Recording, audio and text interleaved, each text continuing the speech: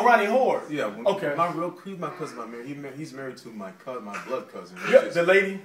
Your blood cousin. It's Henrietta. hon- Honestly, to me, I talk to her and I talk to him. Okay. To me, she's on a different level than where he is. Right. He's on a spiritual, we spiritual Israel level. She's on no, we're Israel, and they are Edomites, they are Esau.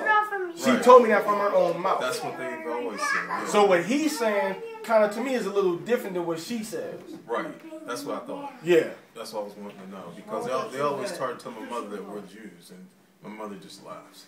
Because now Henrietta might have a, she might have a different understanding than Ronnie has, but I know that when he says it, he's saying one by like conversion and adoption. Have you have you talked to her sister, my cousin Kay?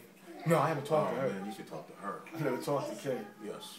I talked to Ronnie. She's the one. Ronnie Senior, I mean Junior, the, the son that they have, his son. Right. But I've never talked to Kay. She goes there also. She, yeah, she's a, she believes how they believe. We went there like way back then, but then She's she lives in Portsmouth though. She doesn't oh, live. Oh, okay. What we want to do with all these different people, I mean, we want to really sit down and look at the scriptures and say, you know, is speaking in tongues valid according to the Bible? So this is your church Sunday from worship. home where you're from. You're from New York. This is what you believe from there. Or? No, no, I came into, I was born in New York in 73. Okay.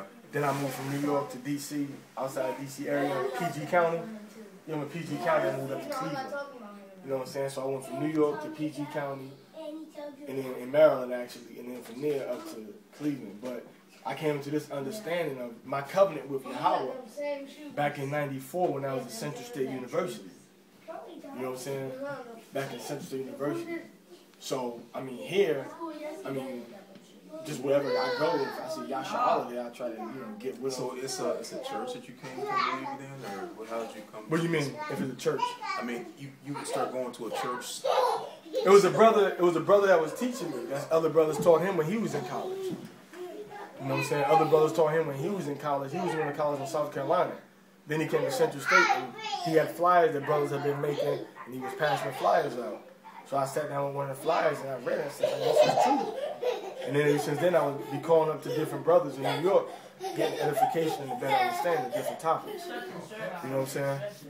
But it didn't start with a. It started with an Israelite person, and the, the foundation was on the Bible as the guideline, not a man, not the organization itself, but the Bible as a guideline. And then most things, more focus starts to be put on the doctrines of the organization as opposed to what the Bible specifically states. And then you start to put more faith in the organization when it doesn't agree with the Bible, and you start to roll with the organization because the organization give you some reason why the Bible isn't wrong, isn't right in this instance. And that's when you gotta kind of back up from the organization, but stick with this organization oh, of Yasharahla in the oh, book. So let me ask you: believe in the Apocrypha and the Bible? Well, You believe in both? here's my Bible. Okay.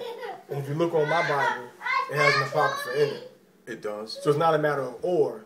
Both of them were meant and were together before they came to the Americas. It's the Protestants in America that took the apocrypha out of the Bible. Why? I have no clue. They said that it was too bulky.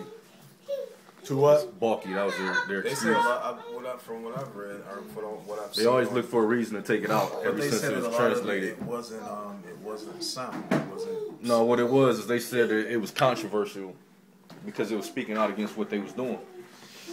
Uh, when it originally translated in 1611, it was all one book. They didn't Yeah. take it out until the last hundred years. So, so why is it? So, so why is the Are apocrypha separated from the rest of the Word of God? It's called the go apocrypha. Why? Because you gotta think about what that word apocrypha means. What does it mean? That's what I'm asking.